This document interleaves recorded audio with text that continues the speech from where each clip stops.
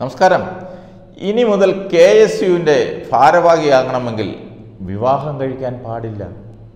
അഥവാ വിവാഹിതരാണെങ്കിൽ ആ ബന്ധം വേർപെടുത്തി വിവാഹമോചനം നേടിയവരായിരിക്കണം. എന്തൊക്കെ കണ്ടാലും കേട്ടാലും ഒരു ദിവസം കഴിച്ചുകൂടാൻ പറ്റും. ഇതെന്തോന്ന്? ഇവിടുത്തെ എവിടുത്തെ നിയമമായത് ഡി സി സി പ്രസിഡന്റുമാരുടെ നിയമനത്തിന് പിന്നാലെ കോൺഗ്രസിന്റെ പോഷക സംഘടനകളിലും പുനഃസംഘടന ചർച്ച പുരോഗമിക്കുമ്പോഴാണ് നേതൃത്വത്തിൽ നിന്നും ഈ നിർദ്ദേശം വന്നത്.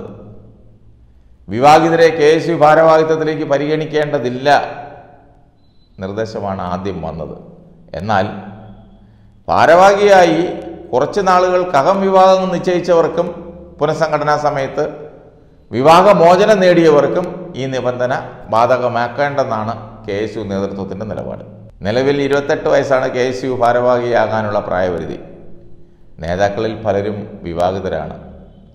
വിവാഹ മാനദണ്ഡം കർശനമാക്കിയാൽ ഭാരവാഹിത്വത്തിലേക്ക് പരിഗണിക്കപ്പെടുന്ന പലരും തഴയപ്പെടും ആ സാഹചര്യം ഒഴിവാക്കാനും അടുപ്പക്കാരെ ഭാരവാഹി പട്ടികയിൽ ഉൾപ്പെടുത്താനുമാണ് ഈ നിർദ്ദേശത്തിലൂടെ നേതാക്കളുടെ ശ്രമം. ഭാര്യയെ ഉപേക്ഷിച്ചാൽ ഭാരവാഹിയാകാമെന്ന വിചിത്രമായ അവസ്ഥ കെ എസ് യു നേതാക്കൾക്ക് തന്നെ അമർഷം കൊള്ളുന്നുണ്ട്. ഈ വ്യവസ്ഥയിലാണെങ്കിൽ പീഡന കേസുകളിലെയും ക്രിമിനൽ കേസുകളിലെയും പ്രതികൾക്ക് പോലും ഭാരവാഹിയാകാൻ പറ്റും.